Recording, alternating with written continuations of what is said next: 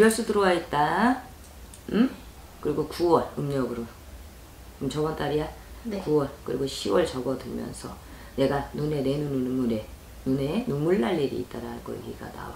그러다 보니 내가 본의 아니게 직성이 올라왔다라는 거는 잠깐 잠깐 내 성격이 네. 어, 온유하고 나름대로는 편안하고 어떤 면에서 공주님도 계셔. 공주병도 있으시긴 한데 여자 여자란 뜻이야. 네. 있으시기는 하다마는 어, 우리 황 씨에도 자손이 내가 훅 하고 사람이 올라올 때가 있어. 이해하고 넘어갈 수 있는 부분도 있는데 어, 올해는 남자 때문에도 고민이고 또 직장 때문에도 어, 네. 고민을 하셔야 되는 시기야.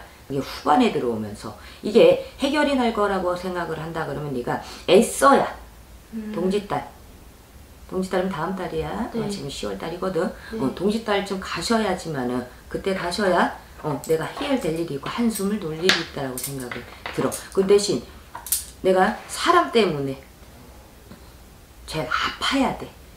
우리 황씨 자손이 다른 건 다 잘하고 잘 넘어가는데 남자복이 없다. 네. 어? 남자복이 없어 너가.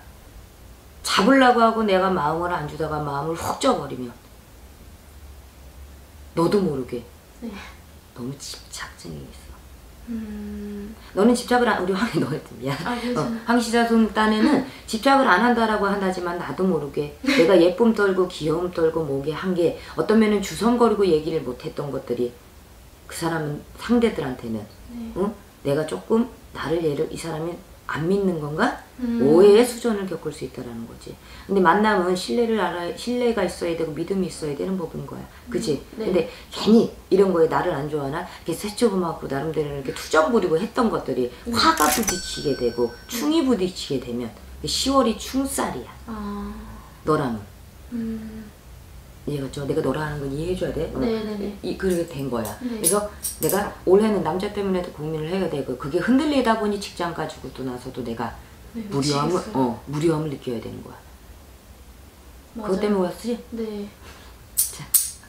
어떻게 해주길 바래. 어떻게 됐으면 좋겠어. 연락이 안 오겠죠? 헤어졌어? 네. 응, 올해 헤어져야 되는 이별수야. 얼마나 됐어? 한 달 딱한 달? 달이요. 맞네. 9월달에서 10월달 들어서는 충이네. 네. 아무것도 손에 안 잡히는 거나 너 머릿속에 운지 운오지 남자만. 네, 미치겠어요. 살짝 네. 상대의 남자친구를 생각하니 다른 여자에게 윤이 보인다. 음. 응? 그렇다고 완전하게 사귀고 있다고 완전하게 합의됐다고 이 생각은 안 들어. 근데 화가 많이 났다라고 얘기가 나와. 네. 응? 상당히 화가 많이 났대. 근데 지금은 뭔 잘못을 했었어도 그게 한 번에 네. 변명으로 들리지가 않는데. 맞아요. 우리 언니가 응? 그 남자친구한테 요번 한 번 실수를 해갖고 나 좀 용서해줘 뭐 해줘 뭐 해줘 뭐 사과하고 막 난리를 치든 그게 지금 한 번이라고 생각이 안 들기 때문에 남자친구가 맞아요. 스팀 여기까지 올라와 있댄다. 어, 그냥 여기서 김이 모락모락 나고 있단다 지금. 네, 맞아요. 이게 횟수가 여러 번이면 안 돼. 네. 마지막으로 용서해 줄 수가 있대. 그게 11월 달이 넘으면 안 돼요. 알겠지? 네. 응? 또 암시해도 자손해도 이별수라다. 마음 안정이나 주시어서 하나 더 와봐. 어, 어, 얼굴 나오니까 가까우지 말고. 저 가운데지? 음. 11월 달에 네. 닿을 길이 있어. 그러니 지금은 묵묵히. 본인이 하고자 한다면 내가 뭘 잘못하고 내가 내 남자친구라면 뭐를 나를 질리고 뭐를 나를 싫어를 할까? 나의 억울함 생각하지 말고 글 쓰다가 너의 억울함을 쓰면 안 돼. 네. 너무 변명을 장엄하게 늘어나서도 안 된다. 네. 알겠지? 네. 내가 진짜 이 남자친구라면 뭐가 화가 났을까? 뭐가? 어떤 말에 자신의 자존심을 남자의 상처를 긁었을까라고 한번 생각하고 사과를 해봐. 그러면 상대가 아 얘가 자기가 뭐를 잘못했는지는 아는구나. 아직까지 연은 끊어지진 않았어. 응? 뭐 차단이 되고 뭐 이렇게까지 어?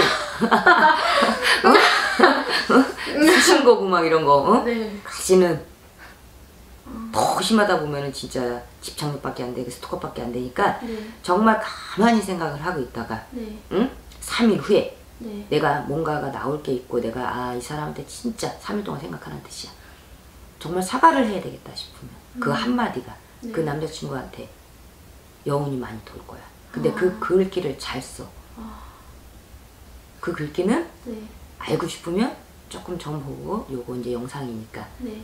어떻게 써야 되는지 내려줄게. 아, 그리고 직장은 네. 이걸로 인해서 환란이 겪지 마라. 내년 3월이나 가야 직장에서 네. 내가 조금 뭐 움직이든 자리를 잡든 해야 될 수가 있어. 근데 음. 지금 당장 이동해 버리면 이도 안 되고 저도 안 되는 뜨는 운세가 됩니다. 음, 알겠죠? 네. 응? 그러니까 내가 앉아서 사무직만 볼 수 있는 직업은 못 돼. 맞아요. 응? 네. 못 돼. 그러다 보니 음, 사람 상대는 제일 잘하는데 내 남자 상대가 안 돼서 그러는 거야. 그 스트레스를 네. 내가 받으려고 어, 이렇게 해주려고. 근데 본인이 음. 되게 착해. 착한 심성이 있다. 응? 아마 조금 더좀 가깝게 느끼고 눈물에 네. 눈에 눈물이 나기 시작을 할 거야. 잠은 더더욱이나 못 잘 것 같고. 맞아요. 살도 엄청 빠지고. 음. 근데 이, 이뻐. 네. 살이. 변화돼. 살도 빠져서 다음에 봤을 때, 아, 얘가 고통을 겪긴 겪었구나. 모든 사람들이 그래. 음, 음, 조금만 기다리고 있어봐. 제가 먼저 연락을 해야 되나요? 사과의 끈 보내야지. 뭐 때문에. 이유를 대. 상대라면. 음, 왜냐면 그냥 넘어갈 수도 있는 부분 중에 하나였다라고 얘기가 나와. 걔는 딴지 건 거야. 음, 그 남자친구 입장에서 딴지 건 거야. 음, 이게 조금만 더 가다가는 그 사람도 다른 연이 붙어. 또 오늘부터 와, 전 봤더니 다른 연이 붙는다 그래서 와, 잠을 못 자고 되게 어려우니까 막 이러지 마시고. 또 아, 아직까지 나랑 연이 안 끝났다니까 진심으로 내가 사과를 하면 그 마음이 연이 닿겠구나. 그 마음이 통하겠구나. 기운이거든. 기류거든. 네. 알겠지? 그러면 진짜 연면 그렇다고 막 구구절절 뭐 그러면 이제 한 번이 아니라고 얘기가 나와서 네. 응? 남자 때문에 너무 힘든 것 같아요. 음, 제가 음, 잘해주는데도 자꾸 음. 내가 네. 몇 살인지는 모르지만 서른이 넘어야지만 내 연이 다.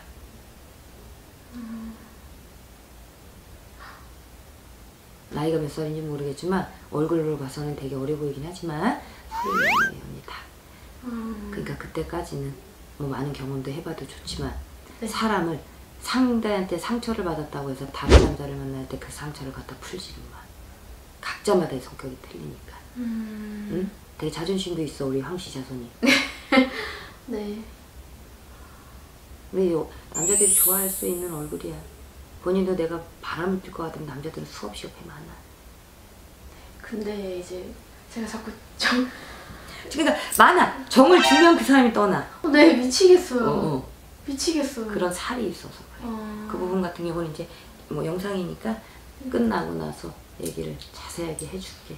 살이 있어서 그래. 그런 살들이 너가 남자들에 대한 남자 복도 있지만 끊어먹는 살도 없지 않아 있고 또 내 마음을 너무 한 번에 훅 하고 이렇게 지켜보다 훅 하고 가다 보니 남자들이 어, 거부감을 느끼는 경향도 있고 어, 네. 어, 나는 진짜 진심이었는데 그들은 왠지 모르게 너무 훅 들어왔다는 부담을 느끼고 참 사람 미치고 앉아 팔짝 뛰는 네. 거지.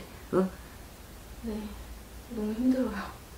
근데 거쳐지게 돼 있어. 음, 음, 그러니 너무 희망 잃지 말고 그리고 동지 딸쯤 되면은 네. 연락이 그렇게 자기가 먼저 화를 풀고 요번에 화는 한번 내린다고 해. 아, 너무 오늘부터 잠 못 자고 있지 마. 사람이 때라는 게 있어. 음, 그때를 기다려 보기도 해야 돼. 내가 실수를 한 거라고 하면. 근데 어떻게 보면 그 친구 딴에도 100% 남자친구가 다 잘한 건 아니지만 제가 많이 잘못, 80%는 본인이 잘못했어. 제가 엄청 잘못했어요. 음. 그 대신 그 엄청 잘못한 게 뭐 때문에 화가 났는지를 한번 캐고 들어봐봐. 그냥 뭐 너무 포괄적으로 미안해, 사과할게 이런 게 아니라 음, 너가 정말 뭐를 잘못했는지 그 내용. 왜냐면 남자친구가 이 보게 되면 뭐라 해야 돼 철두철미하다 그래야 되나 되게 정직해. 네 맞아요. 어 그리고 네모난 데 있어서 이 글을 읽었을 때 얘가 진짜 잘못을 하는지 안 하는지 그걸 딱 봐. 네가 그렇게 우직한 사람이라고 생각해서 마음이 갔던 거야. 네. 그런 사람이 자꾸 갈대처럼 이렇게 흔들고 자꾸 자기를 시험하는 것 같고 자꾸 찔리는 것 같고 그런 생각이 들어서 그래. 음, 응. 그러니까 기다려봐. 응. 네. 그리고 이따가 더 궁금하면 기다렸다가 저 두 분 마저 본 다음에 네. 그 다음에 나머지 어떻게 글을 써야 되는지 얘기를 해줄게. 아, 그리고 단골 애들이나 해주는 거야. 아 진짜요? 그러고 나서 행복하게 아 내가 성격을 조금 바꿔야 되겠구나. 내가 음. 조금 조급하심이 있구나. 아 내가 조금 사람을 믿는다고 믿는데 그게 아니었구나. 음. 근데 나는 예쁨을 받고 싶었던 거고 나의 관심사 관심을 받고 싶었던 거고 투정이었는데 그 투정이 그 사람한테는 안 먹힌 거지. 맞아요. 안 먹힌 아. 거지. 그래. 결혼을 할 상대는 그 사람이랑 네. 아직 결혼을 하기엔 남자가 조금 아직도 그리고 본인이 서른이 넘어야 돼. 지금 몇 아. 살이야? 스물아홉이요. 스물아홉이야? 그럼 내년 내 후년이야. 그러면 1, 2년, 2, 3년 안쪽으로 분명히 혼인수가 들어와 본인도. 근데 이 남자한테 시집을 가서 나쁘진 않다. 아. 그런 연 잘 잡아. 내가 뭘 잘못했는지 그리고 다시 애처럼 굴지 말고. 음. 응? 알겠어요. 감사합니다. 네, 애썼습니다. 대표님